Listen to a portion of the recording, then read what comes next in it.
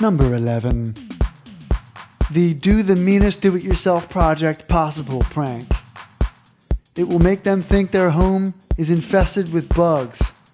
Oh, I think I missed something. There's a video here. I have to stop and watch the video. Pardon me, I'll be back. Alright, I'm back. Man, now I feel bad. There was this video of a kid who has this YouTube channel and he does pranks, and maybe he's the one who created this website. And he actually put a lot of effort into that video that I just watched. It was kind of impressive. And he was young. This kid was probably 12.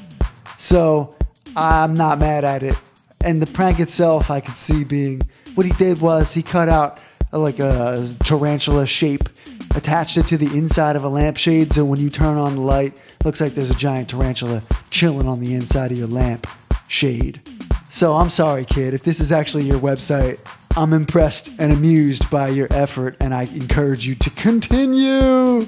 If it's not your website, I'm totally hating on it.